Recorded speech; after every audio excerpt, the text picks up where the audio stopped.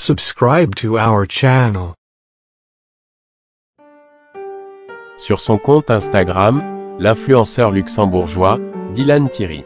Dylan annonce son divorce officiel avec sa femme. L'influenceur déclare qu'au début, ils n'ont pas pris le temps de se connaître et qu'au fil de temps ils avaient compris que leur chemin était différent. Dylan s'excuse auprès de sa communauté qui le soutient et demande la compréhension de tout un chacun dans cette période difficile. Nous souhaitons à Dylan, bon courage, qu'il ne baisse pas les bras. Lorsqu'on se marie, on n'a jamais l'idée qu'un jour le divorce peut peut-être arriver. Bon courage Dylan Sriri, et aussi bon courage à Ayem.